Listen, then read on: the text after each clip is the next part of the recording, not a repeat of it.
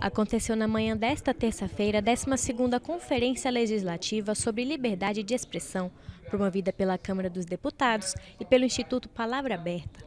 O evento teve como tema a importância da educação midiática na formação da cidadania e no combate às notícias falsas. O encontro também serviu para debater a liberdade de imprensa e de expressão no país, além do exercício de um jornalismo responsável e independente.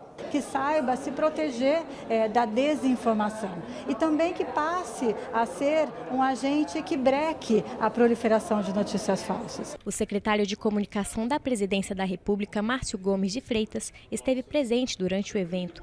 Em ano eleitoral, ele falou da importância do debate para a formação dos cidadãos que irão votar e o impacto que as fake news têm no resultado de uma eleição presidencial. O que a gente tem com o fenômeno da fake news e que aconteceu em outros países é que grupos organizados, partidos ou pessoas mal intencionadas muitas vezes divulgam informações falsas e essas informações buscam interferir nesse processo. Esse é o risco que nós temos hoje. Por isso que é preciso ter um esclarecimento principalmente para o público mais jovem, que não usa os meios tradicionais, que usa às vezes um celular, que usa um computador para obter informação, para que ele saiba identificar da onde vem essa informação.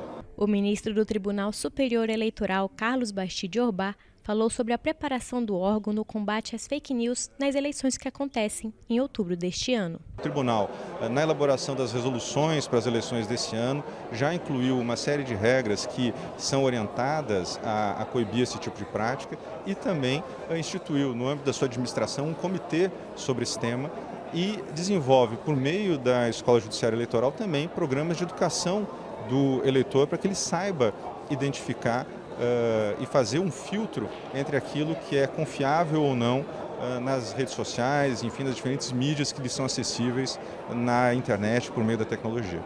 Questionado sobre investimento no ensino superior para debater o assunto das fake news, o ex-ministro da Educação, o deputado Mendonça Filho, falou que é preciso, primeiramente, investir na base. Se você não tiver a base bem preparada, uma educação de qualidade, educação infantil, fundamental e ensino médio, poucos jovens acessarão o ensino superior. Maiara Oliveira, para a Rede Vida de Televisão.